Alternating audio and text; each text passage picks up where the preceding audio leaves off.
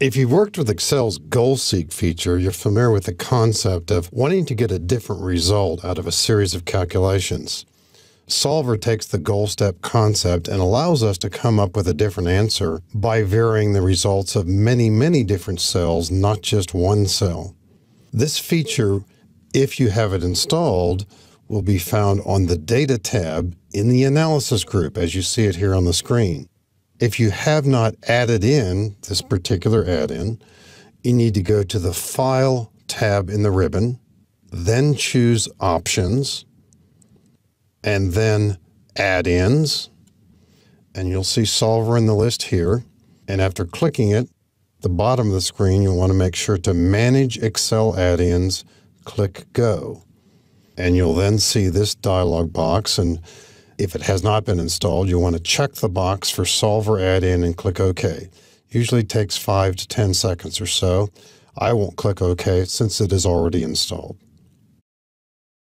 And at that point, you will see the word Solver appear in the Analysis group here on the Data tab. Let's imagine that in this particular worksheet, where we've got January, February, and March data, the February and March data in each case is based on the previous month. We'd like to come up with a higher value here for our gross profit, say 265,000. But we do want to be realistic about it. And we're not going to say that this value should be adjusted only by focusing on one of the numbers, say the sales number. But what if we say we want to allow the sales number to change, also the shipping number, maybe the cost of goods here as well. And furthermore, we want to make sure that these changes don't go beyond certain limits. The term constraints is what we'll be using here. So let's say we want to allow these sales to grow somewhat, not too much, shipping income to grow, and maybe for the cost of goods, maybe to let that shrink. We want this to be 265,000. To activate Solver, we'll click the Solver button in the Analysis group on the Data tab. And our set objective here is to make this cell, the E14, we'll click on it now, be equal to the value of 265,000. By changing variable cells, and we can list up to 32 of them here, I'm going to drag across cells B5 and B6, put in a comma, and then click on cell B10. We want to allow these cells to change, but we do want to set up some constraints here. So let's add a constraint. And the first constraint will be that this cell B5, which we want to grow, we want it to stay less than, let's say 140,000. Now, we don't know if that's going to be enough. It probably will be, but you probably have a sense of whether it would work or not. But we want to be realistic. Let's say it's never going to go above that unless something really unusual happens. Let's add another constraint.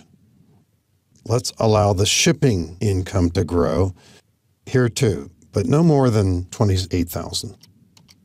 Let's add another constraint. This time looking at the cost of goods our profits will go up if the cost of goods drops a bit. So let's allow that to happen. Let's reverse the order of the arrows here. We want to allow this number to shrink a bit, but let's say it would be unrealistic to think that this would ever go below 75,000. Now, if we've chosen numbers that are beyond the possibilities here, we're not going to get an answer. And let's say if we want no more constraints here, we'll click OK. And now we're ready to ask Solver to provide an answer. If you are familiar with mathematical modeling techniques, you might want to explore the solving method being used. Currently, it's GRG nonlinear. You'll also have some others here, simplex LP and evolutionary. If we click solve, we hope, and we won't always have this be true, but we hope Solver will come up with an answer. And it did. Solver found a solution. And right now we're seeing that solution in the background. Cell B5 used to have 137,000 in it. And cell B6 used to be 26,700. And cell B10 used to be 76,500. So they've all been changed. Now we have the option of restoring the original values or keeping this. If we wanted to explore further, perhaps maybe Solver didn't find an answer, we might want to restore the original values, return to Solver parameters dialog. Now, if I keep the solution here, and if I click OK, while that button has been selected, I will be saving the current display as we see it on the worksheet. So if this is a concern, what you might have done ahead of time is made a backup copy of this sheet.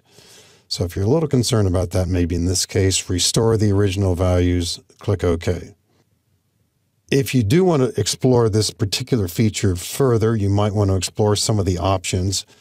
And without much background in this particular feature, you might not know what to do with these various selections. So I would suggest going to www.solver.com where you'll find more information on this feature.